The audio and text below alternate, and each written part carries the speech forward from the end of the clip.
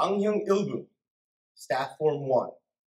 We usually start teaching this around brown belt level, and it's a prerequisite for red belt testing. We're going to be showing you at a slower speed so that you guys can see the basic movements in the form.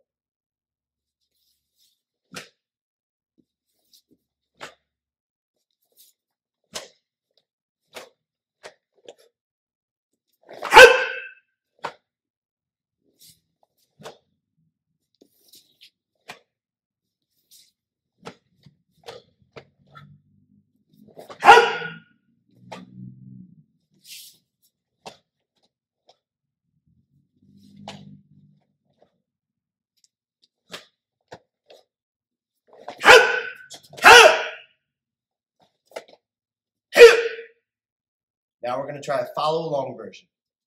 I'll be facing the same direction that you would be facing if you were performing this form at home. Angyugu.